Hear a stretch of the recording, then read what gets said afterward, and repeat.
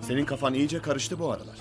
Evde olman gereken saatte mesai yapıyorsun. Mesai saatinde balona biniyoruz. İstediğim saatte istediğim yere giderim. Ben artık senin otelinde çalışmıyormuşum ya. Çocuklar kesin saçmalamayın. Hadi herkes işinin başına hadi. Ben işten atıldım. O otel aynı zamanda benim Bahar Hanım. Ben seni işten attığımı falan hatırlamıyorum.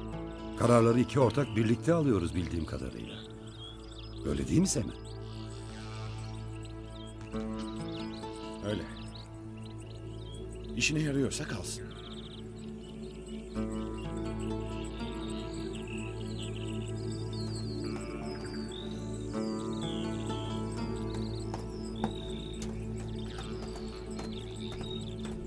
Çocuklar beni eve götürün.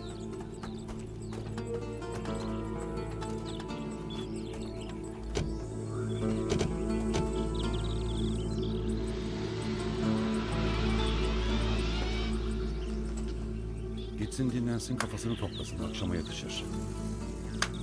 Bütün gece şantiyede ağlamış. Sabah geldiğimde deli gibiydi. Balona bineceğim diye tutturdu. Engel olmaya çalıştım ama olamadım. Yalnız bırakmamak için ben de geldim.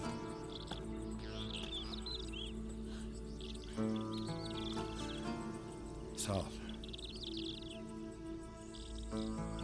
Ee, herhalde yarına kadar görüşemeyiz. Şimdiden hoşça kal. Yarın seni havaalanına ben götüreceğim. Sabah gelir seni otelden alırım.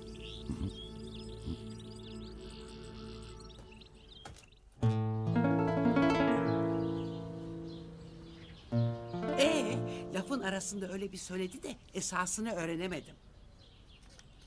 Ne yaptılar karşılaşınca? İyi. Bakayım ne yaptı. Annem soğuk soğuk konuştu. Adam da gayet nazik hal hatır sorup yerine döndü.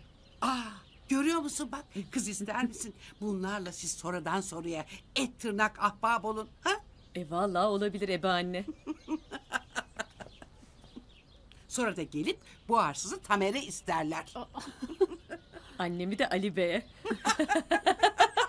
Belki seni alır Ali Bey'e be anne. ha? Hay Allah'ım ya ne hayal gücü var sizde.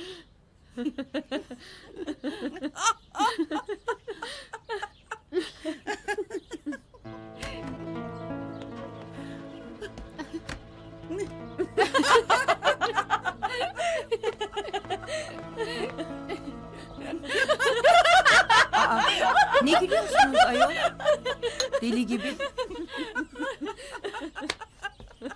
Canım aramızda bir şey.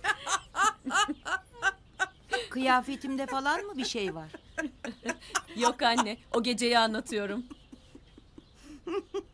Çatladı tabii. Detayları öğrenemedi ya.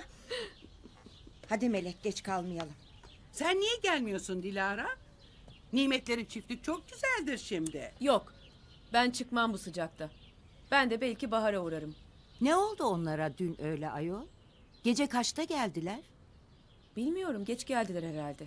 Sabahta fırlayıp çıkmışlar.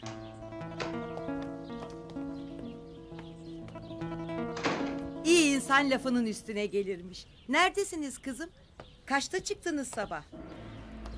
Yedide gittiler Sümbül anne sen uyuyordun. Ee, gece de yoktunuz. Ben 12'ye kadar ayaktaydım. Bekir, kızlar baklavayı arabaya koyuversin.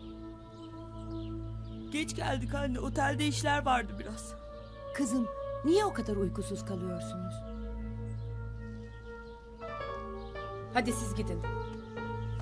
Nimet teyzenin böreklerini Hadi, soğutmayın. Tamam. Hadi. Hadi kızım, sen de kendine dikkat Hadi et. Zeliş. Hoşça kal. Hadi kızım, Uslu, hoşça. Uslu dur, tamam Görüşürüz. Hadi hoşça kalın. Pınar gözünü ayırma.